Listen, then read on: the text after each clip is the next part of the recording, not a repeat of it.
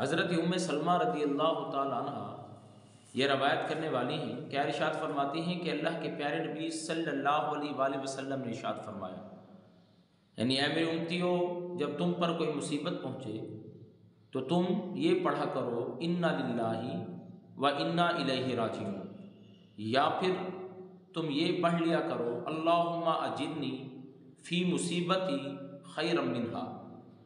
हज़रत उम सलमा रदी अल्लाह तहा इरशाद फरमाती हैं कि मेरे शोहर का इंतकाल हो गया, हज़रत अबू सलमा का रदी अल्लाह ताला।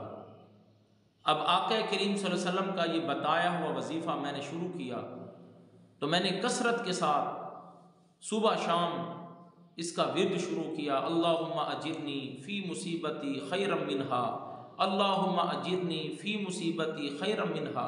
लेकिन दिल में ख्याल आता आँखों से आँसू बहते कि अबू सलमा जैसा शोहर शायद कि अब अब मुझे मिले कि उनका इतना अच्छा अखलाक, बाकिरदार, वो मेरे साथ तो बहुत अच्छे थे। उनसे अच्छा तो मुझे अब कोई नहीं मिल सकता, लेकिन मैंने दिल के ख्याल को रद्द किया और इस मोहम्मद करीम के बताए वजीफ़े को ना छोड़ा हती कि एक वक्त ऐसा आया कि मेरा निकाह मोहम्मद करीम रऊफ़ुररहीम अलैहि व तस्लीम से हुआ। ए ईमान वालों, अल्लाह की बारगाह में दुआ है कि हमें कलाम इलाही से मदद हासिल करने की और ऐसे वज़ाइफ करने की जो मोहम्मद करीम ने इरशाद फरमाए हैं तो फ़ी फरमाए। वमा अलैना इल्लल बला